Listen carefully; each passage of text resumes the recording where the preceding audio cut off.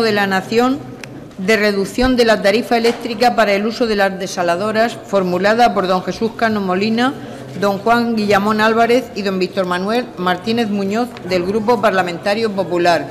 Para la presentación de la moción en nombre del Grupo Parlamentario Popular tiene la palabra el señor Cano Molina. Gracias, señora presidenta. Señorías, el sector agroalimentario regional necesita un volumen mínimo estimado de unos 700 hectómetros cúbicos anuales de agua para atender los mercados con los que tiene comprometidos sus productos y en la actualidad no se encuentran garantizadas tales demandas, ya que la situación hidrológica de la cuenca arroja un déficit de 400 hectómetros cúbicos. Y es que, señorías, la región de Murcia está padeciendo, como ustedes saben, una sequía extrema, que en algunos casos llega a superar índices similares a los del clima desértico, debido sobre todo a las escasas precipitaciones. Señoras y señores diputados, ante este panorama, todos los que ostentamos alguna responsabilidad pública debemos trabajar de manera conjunta para cubrir especialmente las necesidades de las zonas que padecen un déficit estructural hídrico, como el que padece la cuenca del Segura. Una cuenca que abastece a unos agricultores que producen unos 4.000 unos millones de euros al año, que riega más de 40 millones de árboles frutales y que exportan el 28% de las frutas y hortalizas del total nacional. Asimismo, el sector primario tiene un importante peso en la región de Murcia, el 5,3% del Producto Interior Bruto, más del doble de la media nacional y más de 100.000 empleos. Un sector que hace de la, necesidad virtud, pues a pesar de la pertinaz sequía que padecen nuestros campos, se aprovechan los recursos hídricos disponibles hasta la última gota de agua a través de un correcto y eficiente uso de este bien tan preciado. Y es que, señoría, el sector agroalimentario regional es un referente y un ejemplo para todo el mundo. Decía Marco Tulio Cicerón que la evidencia es la más decisiva demostración. Ayer tuve la suerte y la oportunidad de evidenciar y de comprobar en la Feria Internacional de la Agricultura Fruit Attraction 2015 el gran potencial que tiene el sector agroalimentario de la región de Murcia, que somos la huerta de Europa y que tenemos los mejores agricultores y los productos más competitivos del mundo y de ello todos debemos sentirnos muy orgullosos. Un certamen en el que sin duda brilla con luz propia el pabellón 7 de IFEMA, donde se encuentran los stands de la práctica totalidad de las empresas murcianas. La actividad allí era frenética, pues todo el mundo se acercaba a visitar los stands de nuestras empresas para ver e incluso para degustar los mejores productos agrícolas del mundo. Melocotones, nuestros paraguayos, uvas de mesa, granadas, melones, tomates, pimientos, brócoli, lechuga y un largo etcétera que durante estos días son protagonistas en la Feria Internacional de la Agricultura. Quiero aprovechar esta tribuna para manifestar públicamente el orgullo que siento como murciano del sector agroalimentario regional. Un auténtico ejemplo de superar todo tipo de crisis, un ejemplo en todos los mercados del mundo y un ejemplo de promoción para la región de Murcia. Hecho este pequeño inciso, enlazo con la iniciativa que tratamos esta mañana. Porque, señoría, para que esto siga siendo así y para que cada vez vaya a más, es necesario garantizar el agua. Y todos los que estamos aquí sentados y todos los que tenemos, ostentamos responsabilidades públicas, tenemos que comprometernos en esta tarea y combatir esta sequía, trabajando en la búsqueda de recursos para que nuestro sector agroalimentario se vea mínimamente afectado por esta dramática situación. No podemos renunciar a ninguna tecnología, ni a ninguna fuente de recursos. Nuestra región utiliza y debe seguir utilizando el agua del trasvase.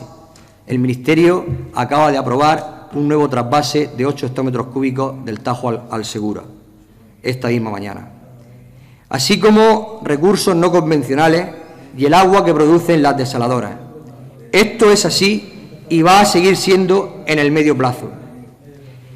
El coste del agua desalinizada no es asumible de modo general por nuestro sector agroalimentario, ya que sus costes les impiden ser competitivos. Hay que tener en consideración los elevados costes que representa el agua desalinizada frente al coste del agua traspasada. En la actualidad, la tarifa de agua traspasada asciende a 9,7 céntimos metro cúbico de agua, frente a unos costes de agua desalada que oscilan entre los 30 y los 57 céntimos metro cúbico, y 30 céntimos gracias al reciente acuerdo histórico que se consiguió en el Ministerio gracias al gran trabajo conjuntamente del presidente de la región de Murcia, Pedro Antonio Sánchez, y de la Mesa del Agua de la región de Murcia. Gracias a eso se ha conseguido el abaratamiento en 50 hectómetros cúbicos de agua desalada y una ayuda de 8 millones de euros. Por primera vez, señorías, y esto no se puede olvidar porque parece que pasó y ya, no, esto no se puede olvidar, esto es algo histórico. Por primera vez, un gobierno nacional ha puesto sensatez y cordura y ha abaratado el precio de agua desalada para una región, para unos regantes, para unos agricultores y para una cuenca que verdaderamente lo necesita. Nunca antes había ocurrido algo así. Pero, señorías, a pesar del run run, tenemos que seguir estudiando otras alternativas que abaraten el coste del agua desalada. Este es un problema que requiere de soluciones complejas, que combinarán en su caso la posible utilización de energías renovables la búsqueda de mayor eficiencia en las instalaciones de desalación mediante la incorporación de tecnologías más modernas y la adopción de tarifas eléctricas específicas que reconozcan la singularidad de estas infraestructuras. Desde el Grupo Parlamentario Popular no rechazamos ninguna opción que suponga la reducción de la tarifa eléctrica para el uso de las desaladoras. Estamos dispuestos a estudiar todas las opciones que vayan en beneficio de los usuarios, pero estas propuestas deben nacer de estudios técnicos rigurosos, no de, no de apriorismo sin algún fundamento. Técnico, claro está. Creemos, señorías, que una de las opciones más viables sería la de pedir al Gobierno de España que se aplique la tarifa P6, siempre, en todos los periodos, periodos horarios y todos los días para las desaladoras. Esto es la tarifa más económica de todas, que puede llegar incluso a ser 10 veces más barata que la P1, la más cara. Estaríamos hablando de un ahorro de entre 5 y 7 céntimos metro cúbico de agua. Otra opción a estudiar podría ser, ¿por qué no? No nos oponemos a nada he dicho, plantear al Gobierno de España que para las desaladoras no sea de aplicación la tarifa de peaje contemplada en el decreto de autoconsumo. La de incluir instalaciones de fotovoltaica que rebajen el precio de la tarifa eléctrica por una desaladora. Aunque con esta opción he de decirles, señorías, que tenemos nuestras reservas y nuestras dudas, ya que una desaladora debe funcionar en continuo día y noche para hacerla más productiva. Pero las plantas fotovoltaicas solo funcionan en horas de sol, es decir, en la región de Murcia entre 1.700 y 1.800 horas al año. Y una planta desaladora a pleno rendimiento y a plena producción funcionaría hasta 8.000 horas al año, aproximadamente, a pleno rendimiento y a, plena producción. Eso sin tener en cuenta la gran superficie que ocuparía una planta fotovoltaica que pudiera dar servicio a una planta desaladora. Un metro cúbico de agua, 3 kilovatios, 3 kilovatios y medio y un kilovatio, pues entre 8 y 10 o 10 metros cuadrados. Por consiguiente, este estudio nos dice que se necesitarían unas 75.000 hectáreas de terreno para la instalación de una planta fotovoltaica capaz de dar, servicio a una desaladora. No nos oponemos a que se estudie, pero creemos que no sería la solución más viable.